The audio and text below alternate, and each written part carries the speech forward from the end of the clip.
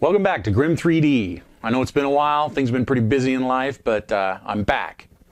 We got a bunch of new subscribers, so welcome to the channel. Today we're going to be messing with the Maker Select to reduce vibration. It's probably going to happen in a couple of videos, so stay tuned.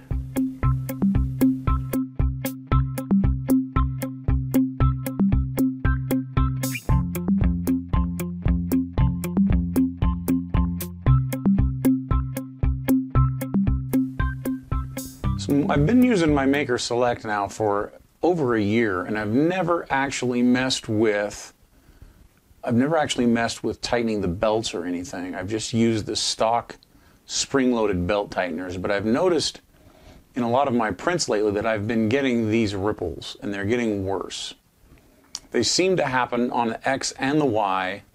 This is a little ripple test that I printed a while ago, but you can see that there are ripples before and after any movement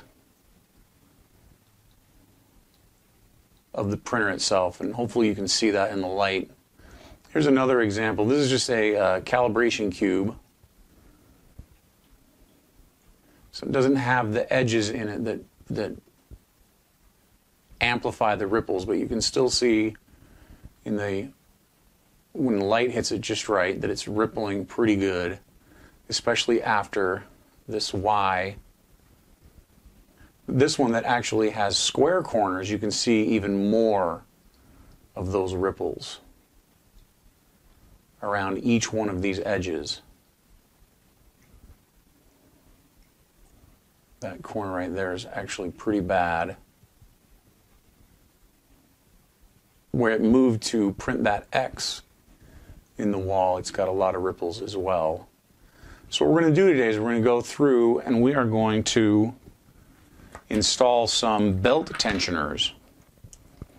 I got these belt tensioners. This is one belt tensioner. I got this off of Thingiverse, and I'll put the, link down below and the attribution. It's not my design, but it's a pretty good design, I think. It's got pretty good reviews.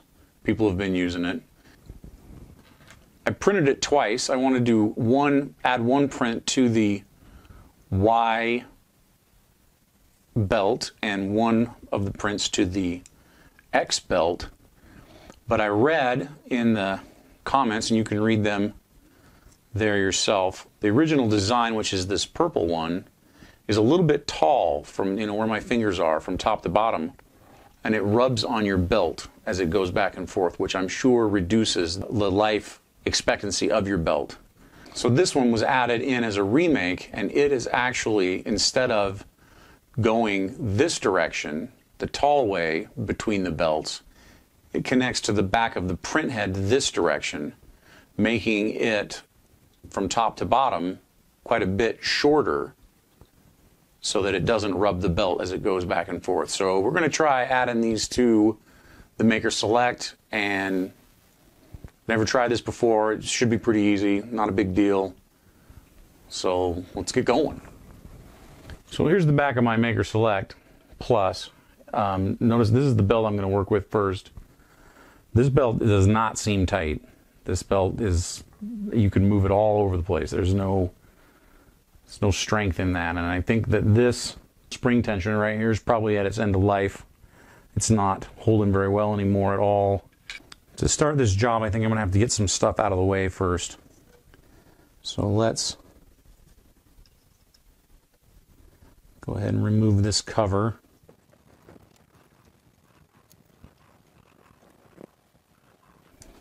And then we'll pull this connector up off the board. I do have it connected with another piece of wire over here that's actually for some lights that I have on my printer. And then I can go ahead and remove this screw that the belt runs on. There we go. I'm just going to grab my flush cutters. I'm just going to go ahead and get rid of these nylon zip ties very carefully make sure I don't cut the belt.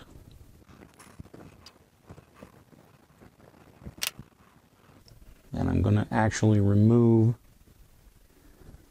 this factory spring tensioner. I'm going to put that back on. So now I'm going to put this, move this belt kind of out of the way. I'm going to put in place of where the belt was. I'm going to use the same screw. I'm going to install the first half of my tensioner.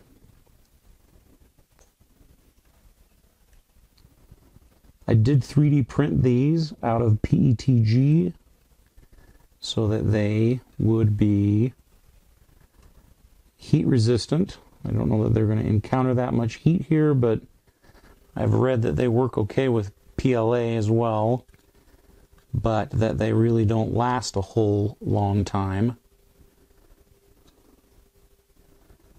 So I've got that part of the tensioner in place. I'm going to install this This is a nylon lock nut. And it's going to go right in that slot right there. you Got to make sure that you get a flat on the top and the bottom and it slips right in. Then here's the second part of the tensioner, which will go like this, this direction. This is an M3 screw. I'm going to go ahead and screw it, start it. I'm not going to put it in very far because I want to be able to use that space for creating tension on my belt.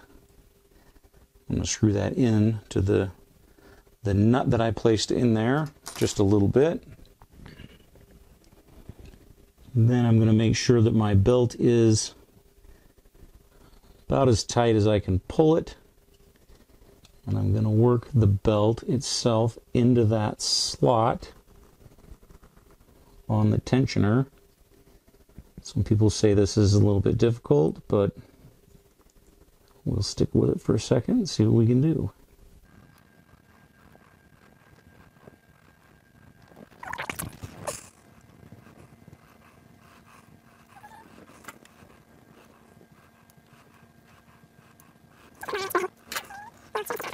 Well, it's not going to go around this screw head, so I'm going to have to pull this back out.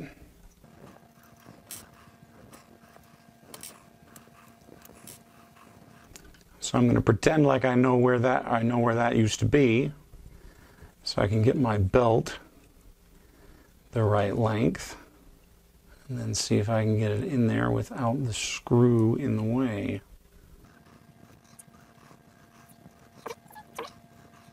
That was much easier, except I may have made it too, not in the right place, too long. I'm going to use a small Allen wrench to kind of push it in the groove a little bit better, make sure it's seated properly. You'll notice that right here, the belt's teeth grab each other so that it won't slip out. And let's see if My M3 bolt is long enough now.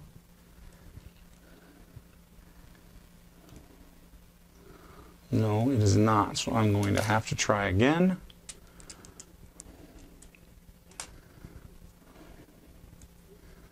So I'll wiggle the belt out and I will make it just a few millimeters longer.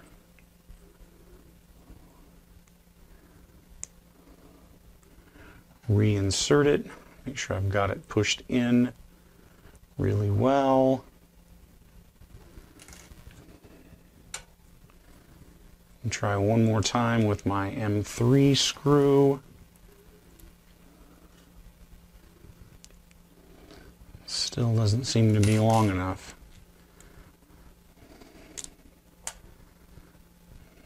Third time's the charm, I guess.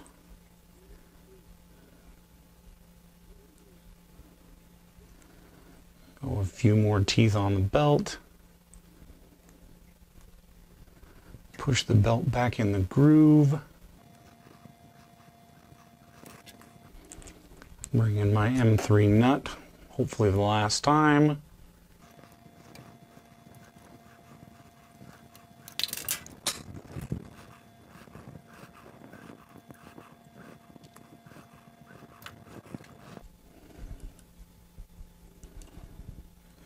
Carefully tighten it down. I don't want to go too crazy on the tightness before I get a chance to test it on a print. I'm already feeling much better tension on the belt than I had before. I do, however, think I'm going to go a little bit tighter. So the tension on that belt is feeling pretty good now. And I do have a little distance between the belt and the tensioner as the head moves back and forth. It's not touching. So some people try to just tie this belt down, which I guess I could do with a piece, but this is actually quite a considerable tail now. So I'm going to use my flush cutters and cut it off. And now maybe you don't want to do this. That's fine. Um, you don't want to cut your belt, but I do actually have extra belts in my possession already. So that doesn't hurt my feelings any. And then um, I'm going to fold this last little tail underneath on itself to try to help it stay out of the way even more. And by the way, you can order extra belts online. There's plenty of places to get them. So um, even if everything went bad, I'd have an option to get a whole new belt. I'll go ahead and zip tie this with my nylon zip tie. So it stays down nice and tight and out of the way. Using my flush cutters, cut off the end of my zip tie. And then I'm going to double check and make sure that with my new setup, I'm able to go all the way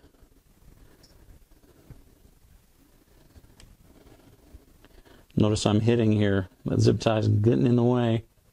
I need this to go all the way to this limit switch. So we're going to have to try again with the zip tie.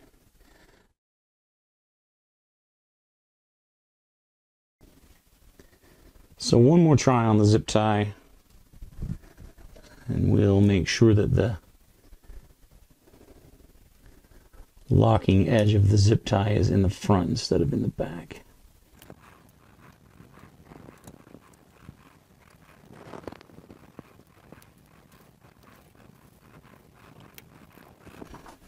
And then cut it flush again. Now check one more time to make sure that it goes all the way to the limit switch without any obstructions. And of course we didn't mess with this side, so we'll go all the way all the way to that side without any obstructions. So now we just got to button it back up. Notice the the tension on this is actually quite a bit better. I know you can't feel that, but it's actually feels pretty good. And I can tighten it up anytime I want just by turning the screw. So I'm going to go ahead and attach my ribbon cable again. And then I'm going to reinstall cover.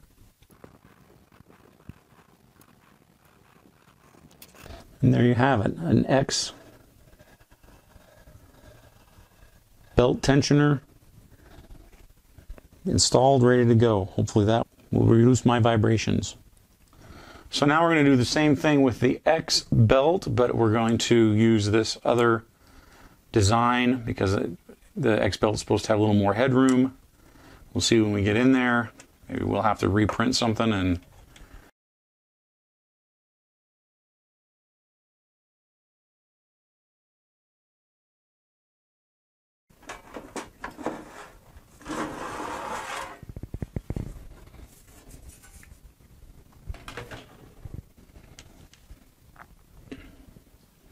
So here's the part we're going to be messing with.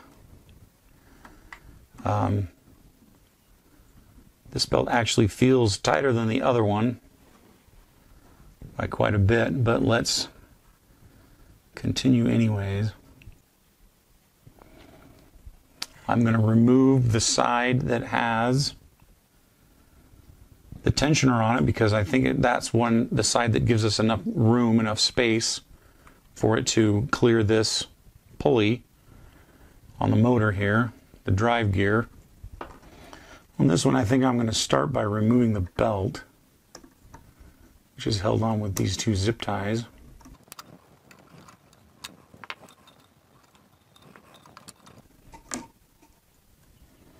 And then removing this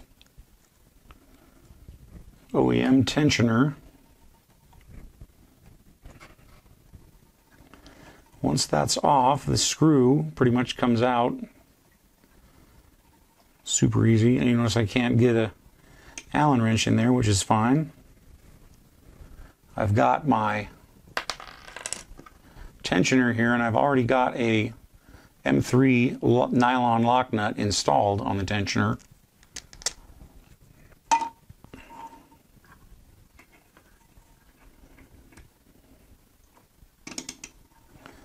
I'm going to go ahead and screw that back in. I'm going to make sure I get it in about as far as it was before. It could go a little farther, but you want to make sure that the screw doesn't stick through and rub on this piece of metal. And it really doesn't matter if it's how far through it is. Now we've got the fun of installing belt at the proper length into the tensioner again, about as tight as we can get it. Our tensioner as long as we can pull it.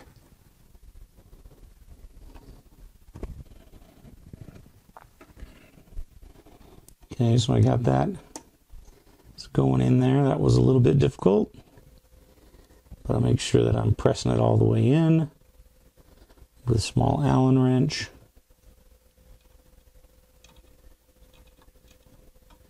And I got it fairly tight to begin with, which is great. So it did take me a couple of tries on this one as well. It was pretty tough to get it in there, but that's fine. Now I'm going to go ahead and I'm going to tighten this down to get my belt tension where I want it. Nice and tight.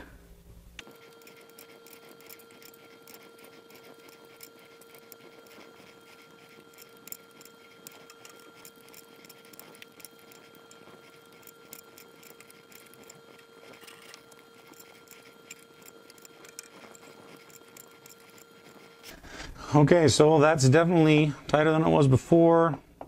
Feels pretty good. Shouldn't deflect a whole lot.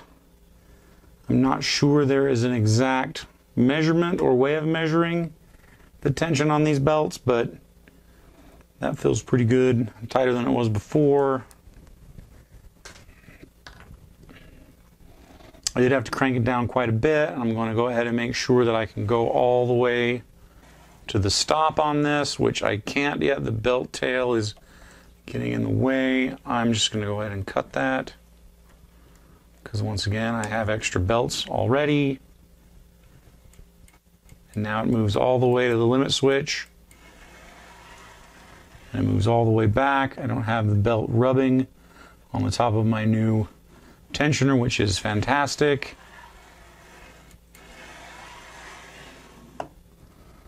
Now the only thing left to do is to button it up and try it out see if we got rid of any of the ribbles.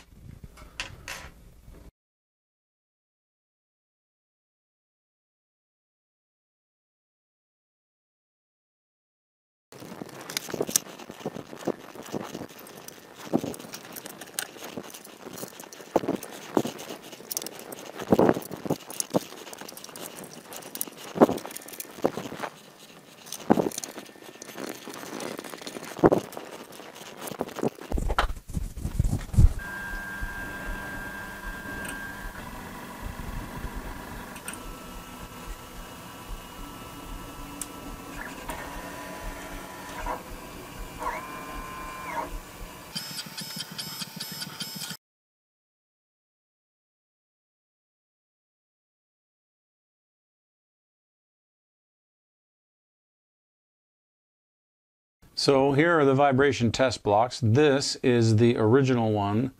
This one is the new one. that just printed with the tightened belts.